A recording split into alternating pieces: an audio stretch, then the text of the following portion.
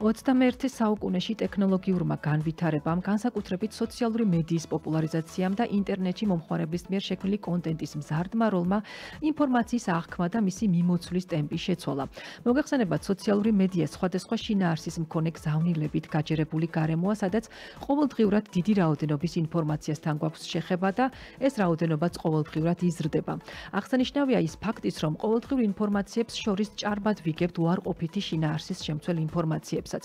როგორ შეიძლება ავირიდოთ თავიდან ნეგატიური ინფორმაცია, რომელიც თანამედროვე სამყაროში სწორედ სხვადასხვა სოციალური ქსელისა თუ მედიის საშუალებით უხვად მოგვეწოდება და ჩვენს ფსიქიკაზე არც თუ დადებით გავლენას ახდენს და ზოგადად როგორ მოქმედებს ციფრულ ეპოქაში მედია ადამიანზე. ამ საკითხზე უფრო ვრცლად ჩვენი გადაცემის სტუმართან ერთად ვისაუბრებთ და კომპეტენტურ პასუხებსაც მივიღებთ მისგან. სიამოვნებით წარმოგიდგენთ მედია ფსიქოლოგი, მკვლევარი და ჟურნალისტი ლიანა მარქარიანია ჩვენთან ერთად. დილა მშვიდობის სალიანა. მშვიდობისა. შესავალი გავაკეთე ხო? მივესალმები თქვენს მაყურებელს. დიდი თუმცა საინტერესო შესავალი იყო ნამდვილად. საინტერესო და აქტუალური თემაა, გვინდა არ გვინდა ასია სამწუხაროდ. ალბათ ხშირად გვიფიქრია დღითი დღე როგორ რთულდება სოციალური მედიიდან თავის დაღწევა, როგორ ვებმებით ყველა განურჩევათ ასაკიცა თუ პროფესიის ამის ქსელში და ვკარგავთ რეალობასთან კავშირს. კიდევ ერთი პრობლემა კი სწორედ ის ზღვა ინფორმაცია და სამწუხაროდ უარყოფითი შინაარსის შემცველი ინფორმაცია, რომელსაც ყოველდღიურად ვიღებთ და რომლის გადამუშავებას ყოველდღურად გვიწევს. აი საინტერესოა რა არის იმის მიზეზი, რომ ამდენი რაოდენობის უარყოფითი ინფორმაცია ყოველდღურად ვრცელდება. ის ხო არა რომ საზოგადოებას რაღაცნაირად მიმართულია უკვე ნეგატიური ინფორმაციის მოსმენისა და გაზიარებისკენ. საინტერესო თემაა დღეს განსაკუთრებით აქტუალური და ზოგადად ნებისმიერი ტალღა იწება კონკრეტული წინაპირობის გამო, ანუ კონკრეტული მოვლენები განაპირობებენ იმ პერიოდში ინფორმაციული ნაკადი იქნება პოზიტიური თუ ნეგატიური. ან საერთოდ რა მიგვაჩნია პოზიტიურ და ნეგატიურ ნაკადებად, ხო? ესეც საინტერესოა. ხო, ვიღაცისთვის სუბიექტურია, ხო, ეს ყველაფერი. ვიღაცისთვის შეიძლება რაღაცა ამბავი პოზიტიური იყოს, მეორე ნაწილისთვის შეიძლება ეს ნეგატიური იყოს, მაგრამ ყოველთვის ამას განაპირობებს იწევს დრო. ანუ ასე დღეს რო ვთქვათ რაღაცა ამბავი, შეიძლება 100 წლის წინ ეს ყოფილიყო პოზიტიური, მაგრამ დღეს ხო არის ნეგატიურ კონტექსტში. ამიტომ ამის ნახვა საჭიროა იმ დროში. როგორც წესი, საზოგადოებას აქვს მიდრეკილება, ამას კვლევები ადასტურებს, მეტად აზიარებს სენსაციურ ამბებს და სენსაციური ამბები როგორც წესი ნაკლებად პოზიტიურია. სენსაციური ამბები უფრო ნეგატიურისკენ იხრება, იმიტომ რომ ადამიანის ფსიქოლოგია არის მოწყობილი. ის რაც ჩემთვის პოზიტიურია, იმდენად სენსაციური არ არის, რაც ზოგადი ნეგატიური ფონი, რომელიც არსებობს და ეს იცით რა არის? არაფერი ზედმეტი არ ვარგა. არაფერი არ არის კარგი გადაჭარბებული. მათ შორის არც სოციალურ ქსელში ასე ვთქვათ, ყოფნა. ამავდროულად ახლა დღეს ფიქრობდი სანამ მოვიდოდი. ერთადერთი კაი რამ რაც არის. მუდმივად არის სუფთა ჰაერი, ხო? რამდენჯერაც არ უნდა იყოს ამ სუფთა ჰაერზე. მაგრამ ძალიან ცუდია დაბინძურებული ჰაერი. და რაც დიდხანს ვიღებთ ამ დაბინძურებულ ჰაერს, მით უფრო წამლავთ ორგანიზმს. წამლავთ ორგანიზმს. ახლა რო დავაკვირდეთ, ეს დაბინძურებული ჰაერი შეიძლება ჩავთვალოთ ყალბი და უხვი ინფორმაციული ნაკადი. და სუფთა ჰაერი შეიძლება იყოს უბრალოდ ინფორმაციული ნაკადი.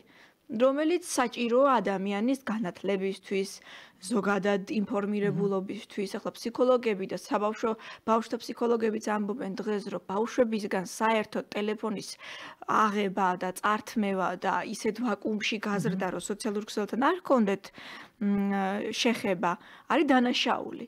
იმიტომ რომ მე ეს ადამიანები არიან სტერილურები ამ გარემოს მიმართ, მაგრამ ისიც რომ მუდმივად ამის ზედოზირება მოხდეს, ესეც ანუ კატასტროფული ნიშნულია და რა ხდება რეალურად, ხო? სოციალური ქსელი აწყობილია ტრანსის პრინციპზე. ეს სკროლვის ეფექტი დაემატა, კლასიკური ტრანსია. არაფერი ტრანსი რა არის, ხო იცით, ახლა ადამიანის გონება ვარდება რაღაცა მორევში და იქიდან ვერ გამოდის რაღაც პერიოდის განმავლობაში, სანამ ძალიან ძლიერად, ასე მყარად საკუთარ თავს ამას არ ეტყვის. მერე რა ხდება? ტრანსის პროცესში ტვინი იღებს უამრავ ინფორმაციას. აქედან ზოგს ვერსი მახსოვრებს ტვინი, იმიტომ რომ ეს არის წვრილმანი ინფორმაციები. ზოგი ძალიან გავლენიანია ჩვენს გონებაზე და ტვინზე, იმიტომ რომ ზედმეტად ნეგატიურია. ზოგი კიდე პოზიტიურია და ცირე რაღაც ცირე რიცხოვანი გავლენები აქვს. საბოლოო ჯამში ეს ტრანსი იმდენ ხანს გრძელდება, რომ საზოგადოებას დროის შეგრძნება დაეკარგა. ანუ ადრე ხო იყო ვამბობდით რომ აი მე რანელა გადის ეს დრო და ასე შემდეგ. დღეს პირიქით არის ერთი წელი გახდა ერთი თვე, ერთი თვე გახდა ერთი კვირა, ერთი კვირა გახდა ერთი დღე და ასე შემდეგ დავიდა ნულოვან ნიშნულამდე. რას ნიშნავს ეს? ეს ნიშნავს იმას, რომ საზოგადოება იკარგება.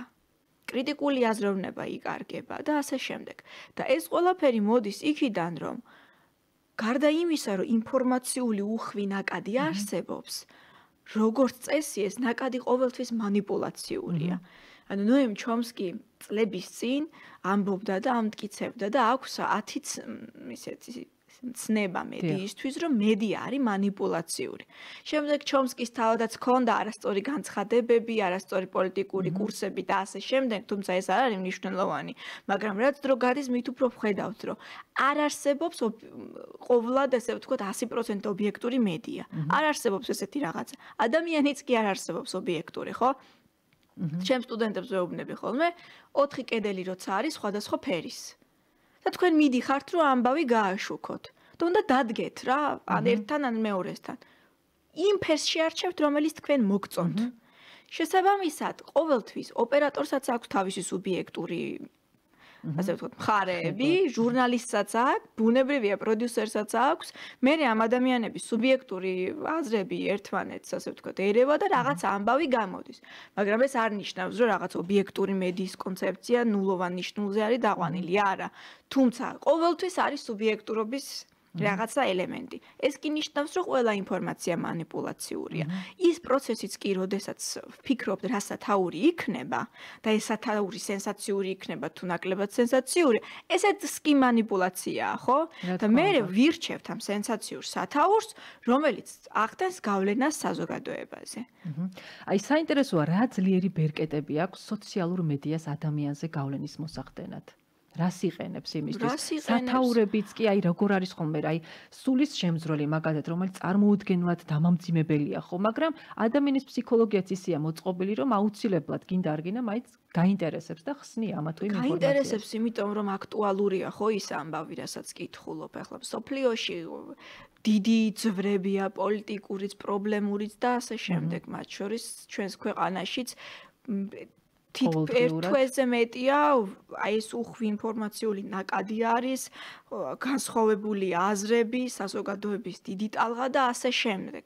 ეს ყველა ქვეყანაში ამ პერიოდში ასეთი ინფორმაციული ნაკადი ბუნებრივიც არის, რომ მოხდეს. მაგრამ ნახეთ რა არის სოციალურ ქსელს და ზოგადად ნებისმიერ მედიას აქვს წლობით განვითარებული манипуляციური მექანიზმები, საი ესეთი ბუკეტი. და დღეს და ხვალ არ არ არ შექმნილა და არ არსებულა ეს არის საუკუნეების მანძილზე შექმნილი манипуляციური ტაქტიკები ჯერ კიდევ ძველი რომიდან დაწყებული და დამთავრებული აგერ ახლა რუსული პროპაგანდისტული მანქანით რომელიც ახლა რაღაცა ევრიკა არ არის რაღაც აღმოჩენა არ არის საუკუნეები არსებობს და მეცნიერი არ დარჩა რომ ამაზე არ წერდეს რუსულად ჩინურ პროპაგანდისტულ მანქანებზე ახლა. ყველა კონტინენტს და ყველგან არის თავისი პროპაგანდისტული მანქანა მაგრამ რუსული არის ცნობილი. ცნობილია იმიტომ, რომ საკმაოდ ძლიერია და ჯერ კიდევ საბჭოთა კავშირიდან მოდის და ეხლა ჩემი ახალი დისერტაციის კვლევის თემა არის რა, ზუსტად ეს манипуляციური მექანიზმების განვითარება და ტრანსფორმაცია. სავალალო იცით რა არის? საბჭოთა პერიოდიდან დღემდე ფაქტობრივად იგივე манипуляციური მექანიზმებით მივდივარ. არ შეცვლილა არაფერი არ შეცვლილა. ტექნიკა შეიცვალა. გაზეთი გახდა სოციალური ქსელი. მეტი არაფერი არ შეცვლილა.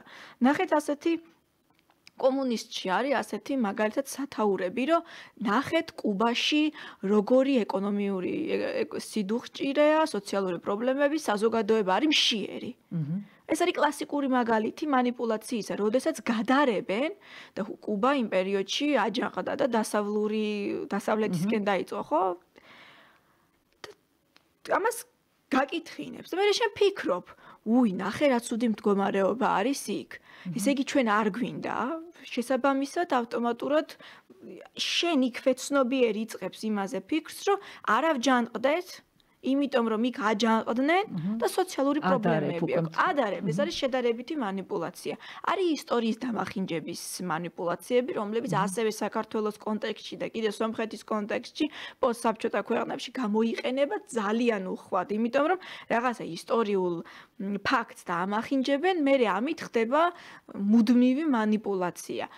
რატო არსებობს სამხრეთ კავკასიის კონფლიქტი? ანუ სომხეთ-აზერბაიჯანის და მათ შორის საქართველოს მართალი ამ კონფლიქტში არ არის, მაგრამ აფხაზეთია არსებობს და რატო არსებობს ეს? იმიტომ რომ ესეც თავის დროს დაიწყო ჩვეულებრივი მედია манипуляციით და დამთავრდა ტერიტორიების გაყოფით, რომელიც დღემდე პრობლემა არის. და ეს ესე რო ვამბობთ, მედია ძლიერია, ამას გულისხმობ ზუსტად, რომ გროვდება, გროვდება, გროვდება და მე რაღაც მომენტში საზოგადოებაში ილექება. ახლა ამას ტყუილად არ ვამბობთ, რუანდის გენოციდიც არსებობს, მაგალითად, რომელიც რადიომანიპულაციებით დაიწყო. დაიწყეს საზოგადოებას ჯერ ლენელად ჩაუსახეს, რა, აი ჰულუ სხვა, ტუცი სხვა, თქვენ სხვა ხართ, ისინი სხვა და შიგნით ქვეყანაში ეროვნული კონფლიქტი დაიწყო. ეს რა თქმა უნდა და ნახეთ მე რა ხდება. თითოეული სიტყვარი შერჩეული რაღაც კონკრეტულ პერიოდში სწორად. მე ვგუშინ სოციალურ ქსელს სკროლავდი და რამდენიმე ისეთი ინფორმაცია მომივიდა, რომ მეც კი უცებ დავიჯერე ამ ყალბი ინფორმაციის და დავიწყე ამაზე ფიქრი რა. აი ეს არის საინტერესო, არ დაგავიწყდეს რიანა, რომ აი საზოგადოებრივი აზრის манипулирებასისა და ფორმირების მიზნით აი დეзинფორმაცია არის ძალიან დიდი რაოდენობით. манипуляციის ერთ-ერთი გზა არის და სხვათა შორის ამაზეც არსებობს სხვადასხვა მიმართულებები. პროპაგანდა არის манипуляციის მექანიზმი თუ манипуляცია არის პროპაგანდის მექანიზმი. პრობლემი, არადა რეალურად манипуляციის ერთ-ერთი გზა არის პროპაგანდა. და ასევე манипуляციის ერთ-ერთი მიმართულება არის დეзинფორმაცია და კონტექსტიდან ამოვარდნილი ინფორმაციის გაზიარება და ყურადღების გადატანის ტექნიკები რაღაცა მოვლენიდან სხვა მოვლენაზე და ზუსტად ამიტომ არსებობს ეს ინფორმაციული უხვი ნაკადი. ესეც არ არსებობს ასე შემთხვევითი არ არის, ხო? ნახეთ რა ხდება საზოგადოება სამწუხაროდ არ არის ამისთვის მზად. მიუხედავად იმისა, რომ ყველა თავისი პოზიცია აქვს და აბსოლუტურად სამართლიანად ყველა თავის პოზიციას იცავს, რისკა უფლებას საზოგადოებას კანონით აქვს, ამავდროულად გვაქვს ინფორმაციული მეორე ნაკადი და მხარე, რომელიც ყოველად სრულ ტყუილში ცხოვრობს. მაგალითად, ერთი პერიოდი, არ ვიცი, ძალიან ადრე იყო ეს, მაგრამ იყო, რომ აივ ინფექციები, შიცი და ასე შემდეგ, მაგალითად, რა ვიცი, მარტივი კომუნიკაციით გადაიდებოდა. აი მე რო ეხლა გამარჯობას გეუბნებით. და ეს იყო რაღაცა სასწაული, ამის კლიშეები არსებობდა. სადაც შორს რატომ მივდივართ ბავშვებზე აუტიზმის და დაუნის სინდრომის მქონე მდგომარეობის კონდიციის მქონე ბავშვებზე, მშობლები არ აძლევდნენ უფლებას, რომ საერთო პარკში ეთამაშათ. რატო? იმიტომ რომ ამაზე არსებობდა ესეთი სტიგმები და ეს სტიგმები გაჩნდა ასე ინფორმაციული მცდარი ნაკადებით. ეხლა ნახეთ რა ხდება. ბუნებრივია რუსული პროპაგანდა აქტიურად შემოდის თავისი ინფორმაციით, რომ პირობითად ცუდია ევროპა, ცუდია დასავლეთი და საერთოდ რუსეთზე კარგი არაფერი არ არსებობს. იმიტომ რომ აწყობს ეს. ეხლა არ არ ვამბობ რომ დასავლური პროპაგანდა არ არსებობს. რა თქმა უნდა არსებობს. ყველაფრის საპასუხო პროპაგანდა არსებობს. მე საზოგადოება ამას სკროლავს და მე ნელ-ნელა ეს აზრები მოზდის რომ ვიღაცა X-ი ამბობს რომ Y-ი არ არის კარგი და ამისთვის შედარებით ანალიზებს გაწუდის. რაღაც მაგალითებს გეუბნება. ამას ერთხელ ნახავ. მე უცებ მსგავსი ვიდეო მოგდის მეორედ. მე კიდე მესამედ მოდის. მე მეოთხედ. მე მიხვდები რომ რასაც სოციალურ ქსელში ეძებ, ზუსტად ის ვიდეოები მოგდის. ხშირად ხდება ხოლმე ტელეფონით ვიღაცას დაელაპარაკები, რაღაცა იტყვი რომ ჭიქა მინდა ვიღიდო და ის ჭიქა მოგივარდება. ეს ინფორმაცია მოგდის მე სიახლოვე. ეს არის ჯერ ეს ერთი ინფორმაციული ბაბლები. ანუ ინფორმაციული ბუშტები, რომლებიც იქმნება თითოეულ ადამიანს ჩვენი ბაბლი გვაქვს, ჩვენი ბუშტი გვაქვს, მათ შორის ჩვენი მეგობრები, ჩვენივე ბაბლია. არსებობს ალგორითმები. აი ზუსტად ალგორითმი ხდება თქვენ რას უყურებთ და რამდენჯერ. თქვენ თუ ერთხელ უყურებთ ამ манипуляციურ კონტენტს, რომ ევროპა ცუდია და შემდგომ უკვე სულ დავკარგავთ ჩვენს გენიას პირობითად, ხო? ევროპის გამო. მე კიდე მოგდის ეს. მე კიდე კიდე და საზოგადოებამ სამწუხაროდ არ იცის, როგორ გაუმკლავდეს ამას. ჯერ ისიც არ ვიცით ამ სტრესს როგორ გაუმკლავდეთ ამდენი ინფორმაციისგან.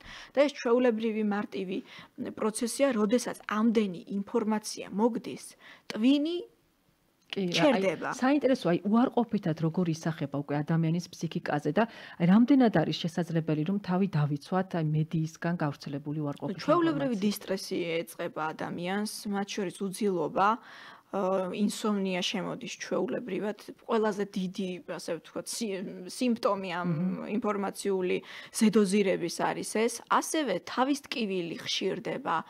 ეს პირდაპირ ფიზიოლოგიურ ანუ რაც ზოგადად ემართება. თვალის ტკივილები ასე შემდეგ და საუბრის გართულება.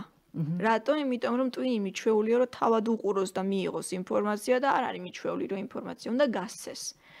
იწება ასევე დეპრესიული ნიშნები, აღარ გაინტერესებთ არაფერი, ხართ მუდმივად ტელეფონში, მცირდება თქვენი ქმედითუნარიანობა.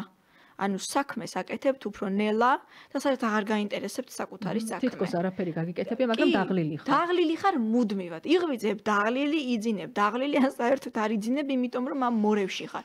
ეს სინდრომები თუ არის, ეს აპრიორი ინფორმაციული ზედოზირება არის და ძირითადად ნეგატიური ინფორმაციული ზედოზირება. ახლა როგორ უნდა გავუმკლავდეთ ამას, ალბათ საინტერესოა. უპირველეს ყოვლისა, უნდა გავიდეთ სახლიდან. რაღაცა საკუთარ თავს მივცეთ საშუალება გაჯეტების garaშე ვიყოთ რამდენი რაღაცა პერიოდის განმავლობაში.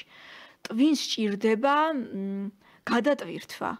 და ეს გადატვირთვა მხოლოდ იმ შემთხვევაში მოხდება თუ რაღაცა უცებ, აი მთელი დღე ტელეფონში ხარ, ტელეფონში ხარ და უცებ 1 საათი არ იქნები ამ ტელეფონში. ტვინი მე რაღაცებს იხსენებს, თავისუფალი დრო უჩნდება, სხვა რაღაცებზე იძღებს ფიქრს ავტომატურად. თუ დააკვირდებით, როცა დაღლილი ხართ, საქმეც სუდად გამოგვიდით და რაღაცა მე რო ისვენებ და ივნისი, ივლისი დავისვენეთ, რაღაცა მომენტში ტვინი თავისით იწყებს ფიქრს საქმეზე. რაღაც ახალი იდეები მოსდის, იმიტომ რომ თავისუფლდება აი ამ ყველაფრისგან და რატო არ ივლისი? კარგი, იმიტომ რომ ყველაფერი ჭერდება. მათ შორის ეს უხვი ინფორმაციული ნაკადებიც, იმიტომ რომ ყველა ითიშება. უკვე წდება. ეს აუცილებლად თავს საკუთარ თავს კვირაში რამდენიმე საათი მივცეთ, რომ გავიაროთ და დავისვენოთ, მაგრამ ყველაზე მნიშვნელოვანი რა არის? შევძლოთ, გავარჩიოთ ნეგატიური ყალბი ინფორმაცია და პოზიტიური ამბები ერთმანეთისგან. ანუ ჩვენ მივიღოთ მხოლოდ ის, რაც გვჭირდება, როგორც საკვები. ჩვენ ხო არ ვიღებთ რაღაცა დამწვარ კარტოფილს.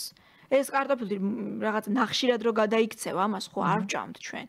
ამიტომ აუცილებელია რომ ის ინფორმაცია არ ჭამოთ, ან არ გვაჭამონ, რომელიც არ შეესაბამება სიმართლეს და უცებ არ აღმოჩნდეთ რაღაცა სასაცილო მდგომარეობაში 21 საუკუნეში ინფორმაციული ვაკუუმი ცოტა სირცხვილიც არის. აუცილებლად მინდა შევეხო მედია ციგნიერებას. აი მედია ციგნიერება რამდენადაც ცნობილია გულისხმობს ინფორმაციაზე კონტროლის დამყარებას. რაც უფრო მაღალია მედია ადამიანის მედია ციგნიერების ხარისხი, მით უფრო დიდია რეალურ სამყაროსა და მედიის მიერ შექმნილ სამყაროს შორის არსებული საზღვრის დანახვის უნარი. ასე დი განმარტება აქვს ოფიციალურად ფაქტურად. საინტერესოა, როგორ უნდა გავხდეთ კრიტიკული მომხმარებელი მედიის და მედია ციგნიერება არის თუ არა პასუხი ციფრულ საუკუნეზე გამოწვევებს გამოწვევებზე. ერთხელ მკითხვა დამისვეს, რა შეიძლება რომ შეცვალოსო მედია ციგნიერება? ყველაფერი. სამოქალაქო პოზიციის შეცვლაც კი შეუძლია გაცო მედია ციგნიერებას განსაკუთრებით წინასაარჩევნო პერიოდში ეს ყველა ქვეყანაში ასეა.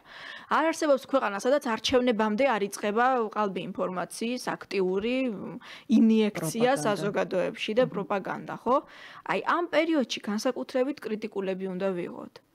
ადრე ცოტა ესეთი მარტივი და მსუბუქი რჩევები მქონდა, მაგრამ ახლა პირველი და ყველაზე მნიშვნელოვანი არ დაიჯეროთ არაფრის.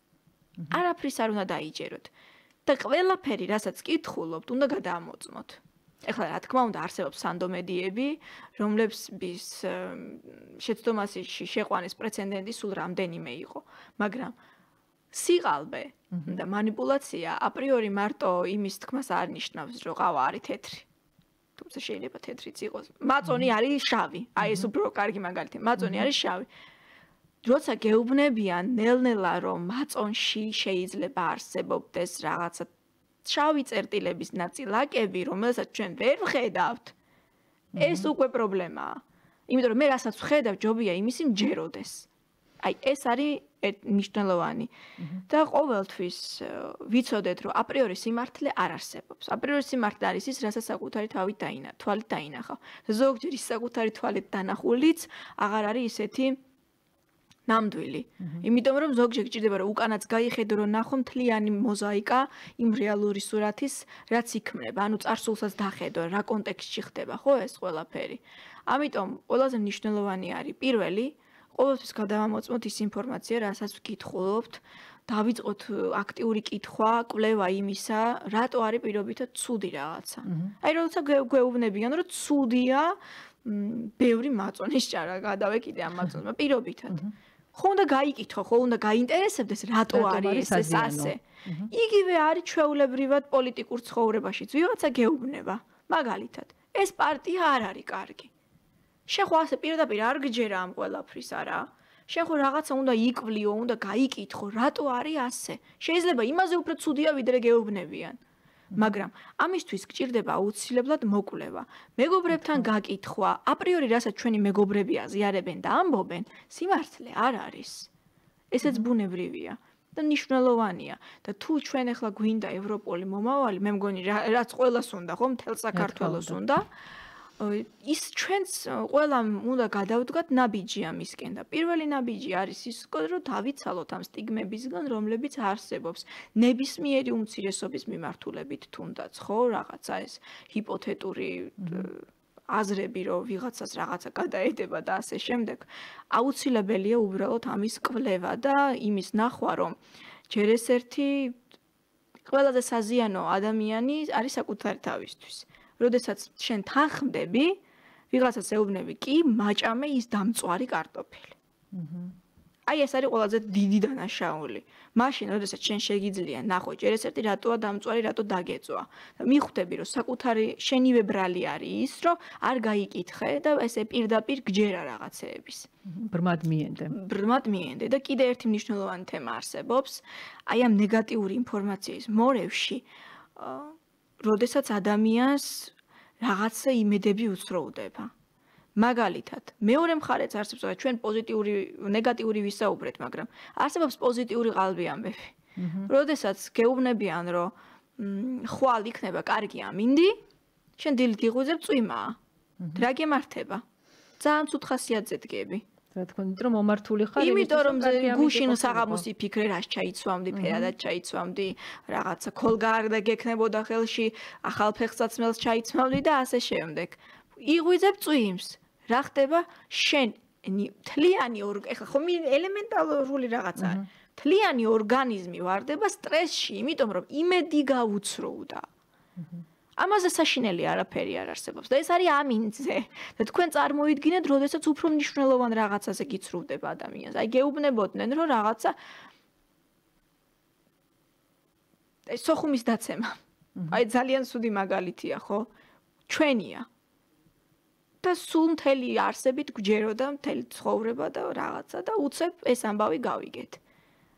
რა მოხდა?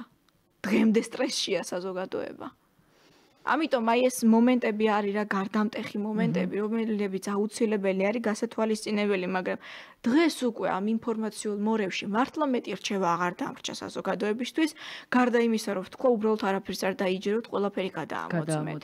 ადრე ვურჩევდით, რომ ასე შეიძლება, ისე შეიძლება, მაგრამ ახლა იმენად აგრესიული გახდა თვითონაც ინფორმაციული ეს მორევიც, რომ უბრალოდ მეტი გზა აღარ არის. არაფრის არ უნდა გჯეროდეს. და ყველაფერი უნდა გადაამოწმო. ის ის მედიაც კი უნდა გადაამოწმო, რომელიც ძალიან სანდო არის შენთვის და აუცილებლად ერთ სვიტყვი, როდესაც დღეში აი რაღაცა ვიდეოს უყურებთ, ხო? პირობითად პრორუსულს. მეორე ვიდეოს გაძლევს პრორუსულს, მესამეს გაძლევს პრორუსულს, მეოთხეს გაძლევს პრორუსულს. რო ხვდებით, რომ ეს დაიწყო თქვენივე ტელეფონში, ხო?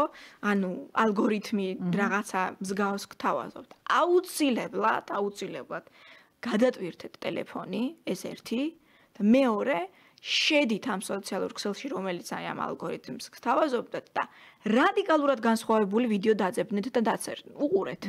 დააბნიეთ ალგორითმი. არ მიფიქრია სხვათა შორის ამაზე და ძალიან საინტერესო რჩევა. კი, აი მაგალითად ვიდეოს უყურებთ, როდესაც გეუბნებიან, რომ ეხლა ხშირად მოდის სხვადასხვა რეკლამა და ასე შემდეგ, სერიალები მოდის, პატარა ფილმებიდან ამონარიდები და ასე შემდეგ. აი მოგივიდეთ რომანტიული ვიდეო, რაღაცა რომანტიკა, რაღაც სიყვარული. გამოდით და მე ერთ 5 ჯერ მოგივათ და 10 ჯერ კიდე გამოდით და შედით. და უცებ დააძებნეთ პალესტინა-ისრაელის კონფლიქტი. და მომენტალურად უკვე ეს რა ისიც ხელოვნური ინტელექტია ეს რა ქვია ისიც ინტელექტია უბრალოდ ხელოვნურია. და თუ თქვენ შეგიძლიათ რომ ამანიპულიროთ ის თუ უბრალოდ თუ იმას შეუძლიათ რომ რაღაცა ამანიპულიროს თქვენი გონება თქვენ შეგიძლიათ. აი უცებ აი ვიღაცას აწვდით აბსოლუტურად ორ პოლარულ განსხვავებულ ინფორმაციას ხო? ის მე ირევა ვაიმე რა მოხდა? ის რომანტიკა მორჩა? ძალიან საინტერესო. და შევედით კრიზისში, იმხელა კონფლიქტში, სადაც ხალხი იხოცება. და მოკლედ ასე ქენით ხშირად. ნამდვილად საოცრად საინტერესო არასდროს მიფიქრია სხვათა შორის ლიანა ამაზე და დიდი მადლობა ასეთი რჩევებისთვის და თემა რომელსაც რაღაცნაირად მუდმივად შეგვიძლია რომ მივუტრიალდეთ და რაღაცა ვერ ამოვწურავთ. ნამდვილად და ασეთი საინტერესო საუბრისთვის და რჩევებისთვის ნამდვილად დიდი მადლობა მინდა გადაგიხადო მობრძანებისთვის და დაგემშვიდობო საუკეთესო სურვილებით. ჩვენ რადიო მსმენელს და Facebook მაყურებელს კი ვეტყვი. მედია ფსიქოლოგი მკვლევარი და ჟურნალისტი ლიანა მარქარიანი იყო დილის სივრცის პირდაპირ ეთერში ჩვენთან ერთად ძვირფასო რადიო მსმენელებო.